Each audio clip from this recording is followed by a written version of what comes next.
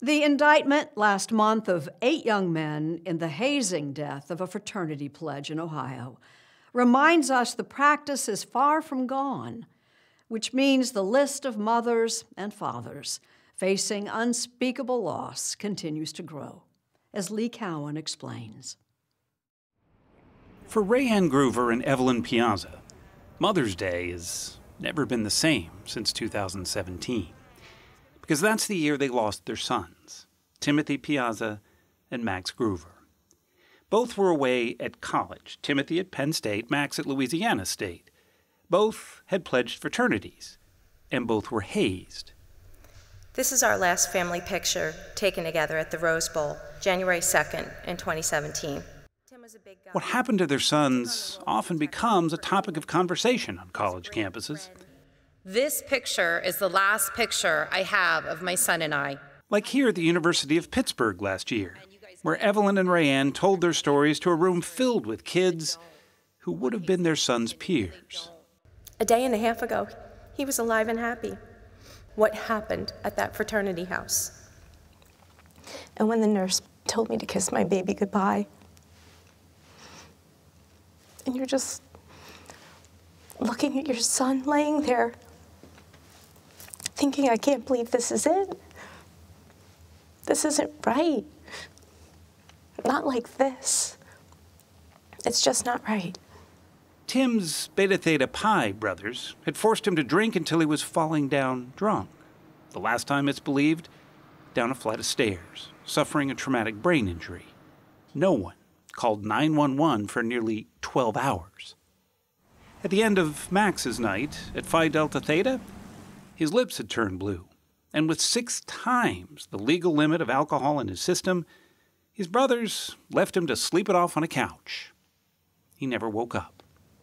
Just knowing some someone could be that mean to someone else and be that mean to your child, and that's how your child died, was with somebody treating him so horribly. And for what? To join a fraternity? And I want to thank you guys so much for sharing the story. Talking about their pain has become almost a full time job. For their husbands, too, Jim Piazza and Steve Gruver. In less than 90 minutes, Tim had the equivalent of 18 drinks. And then they let him lie there as he was slowly dying right in front of their eyes. They just can feel it. They can relate to two mothers up there telling these stories because they think about their moms. Max was forced to consume 18 to 20 pulls off of those bottles, which has been calculated to be at least 32 ounces of diesel, of grain alcohol. As many as 150,000 students have heard their message so far. Many brought to tears by it, like at this Greek leadership conference in Indianapolis last year. If you need anything, you let me know, okay? We just feel like we're the puppets at the end of the strings, and those boys are just up there guiding us, showing us the path. It's really tough to hear, which I guess is really the point. When you're talking about hazing, it, it just should not be sugar coated or lightly talked about. That said, though, you don't preach, though. You really just tell your stories. If we can get them to feel it, I think they'll, they'll do something. Why is it such an intractable problem? To put it succinctly, for many groups, pledging equals hazing, hazing equals pledging. Hank Nuwer is professor emeritus at Franklin College in Indiana. He's written five books on the subject of hazing. His research uncovered at least one hazing related death every single year since 1959, and some years there were many more. It tarnishes the Greek system, tarnishes our universities, and is totally preventable. 2020 passed with some close calls, but no hazing fatalities. A pleasant surprise for such a dark year. But unfortunately, the same can't be said for 2021. So far, two deaths are being investigated as the result of hazing Stone Foltz, a sophomore at Ohio's Bowling Green State University, and Adam Oakes, a freshman at Virginia Commonwealth University. Usually, when a death occurs, there's circling of the wagons. You often find that lawyers and parents are phoned before 911. I could point to quite a few deaths that didn't have to happen if somebody had only made the call. If they weren't worried about getting in trouble themselves. They weren't trying to cover their butts. Around 700,000 undergraduates call themselves members of a fraternity or a sorority, but it's fraternities where hazing is most acute.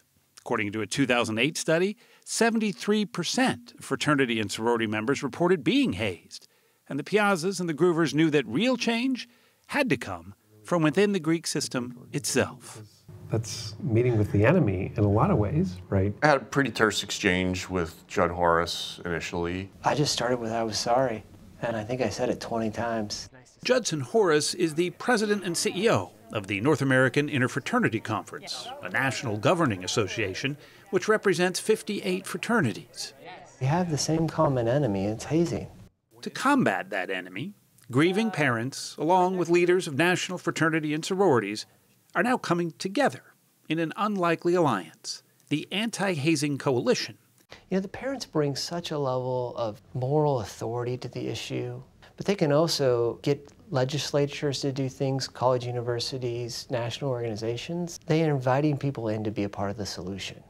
One of their aims is to change both state and federal laws to make hazing just as illegal and just as unacceptable as drunk driving. I'll have uh, two meaningless deaths and uh, paralyzation from the waist down. What are you really asking for when you drink before you drive? Much the way Mothers Against Drunk Driving did back in the 80s and 90s. It took MADD a decade. Yeah.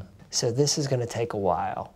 Currently, 44 states have passed laws prohibiting hazing, but most treat it only as a misdemeanor. But that's changing. Just recently, in the alcohol related death of Stone Foltz, that pledge at Bowling Green State University, eight students were charged, and many with felonies. The End All Hazing Act was also reintroduced in the Senate this past March. It would mandate colleges and universities disclose any hazing incidents to both parents and potential pledges alike. This way, a parent or student can use that as a tool for good decision making. And then you can say, oh, Beta Theta Pi was suspended four years ago for hazing for a year.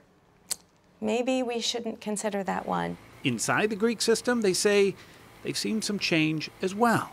You see so many chapters, fraternities mostly, but sororities as well, that are being shut down for periods of time now because people are reporting, because the universities are saying we can't have that. I always ask folks, you know, who in here is for hazing? You know, not a hand goes up.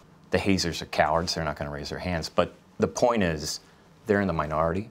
Let that empower you to stand up and make a change. The Gruvers and the Piazzas are keeping the pressure on, talking about their boys in any way they can, until the idea of hazing is seen as a sign of weakness instead of some twisted proof of loyalty. We'll say these stories as many times as we have to if it's changing the culture. You're releasing some of that pain when you talk, and hopefully, we're effective and people are listening. So it's worth it.